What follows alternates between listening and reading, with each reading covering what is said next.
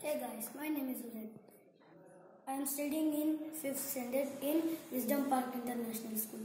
Today I am going to tell you the heat zones of the earth.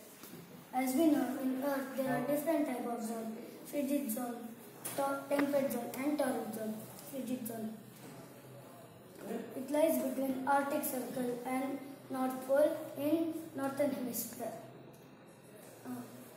Antarctic Circle and South Pole in southern hemisphere. Uh, Sunrise here is minimum, so the temperature is cold. Temperate zone. It lies between the Tropic of Cancer and Arctic Circle in northern hemisphere. Tropic of Capricorn and Antar- Antarctic Circle in southern hemisphere. Sunrise here is moderate, so temperature is mm, neither too hot nor too cold. Tropic of Capricorn and Tropic of in southern hemisphere. Mm, Torrid zone. It lies between Tropic of Cancer and Tropic of Capricorn. Sunrise mm, fall on this zone, so the temperature is maximum.